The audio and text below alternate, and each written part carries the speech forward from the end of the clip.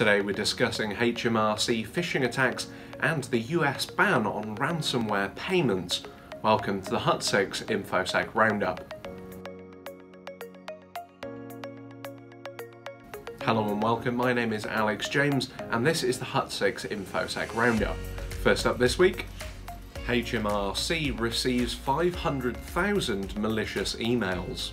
Her Majesty's Revenue and Custom has, between June and September, received over 521,000 malicious emails, around 128,000 of which were classified as phishing.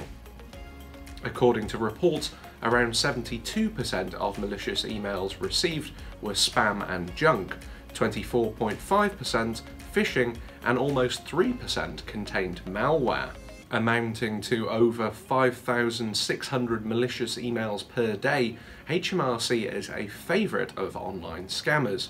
Commonly exploited by criminals, attackers regularly impersonate the organisation and target members of the public with promises of tax refunds, etc. Product director here at Hut Six, Pratik Bathula, had this to say.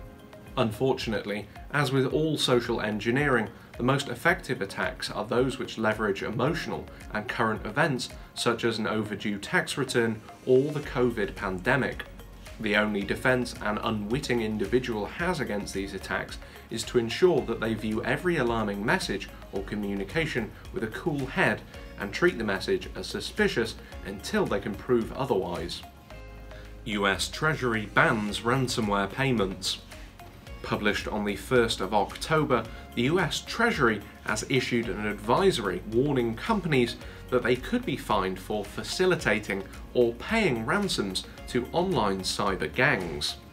The advisory states, quote, companies that facilitate ransomware payments to cyber actors on behalf of victims, including financial institutions, cyber insurance firms, and companies involved in digital forensics and incident response, not only encourage future ransomware payment demands, but also may risk violating OFAC regulations. The US Department of the Treasury Office of Foreign Assets Control also iterated that Americans are prohibited from engaging in transactions with entities on the office's special designated nationals and blocked persons list, or embargoed regions such as Ukraine, Iran, and North Korea.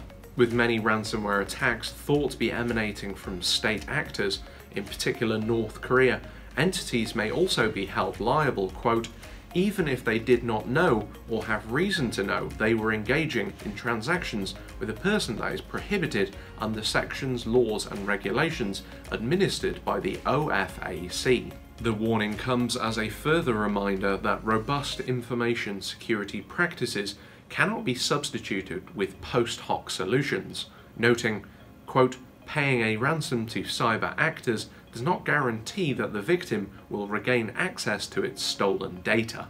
That's all we have for today. Please be sure to like, comment, subscribe and share. And as always, if you're interested in finding out more about information security awareness training, please head over to the Hut Six website for your free demo.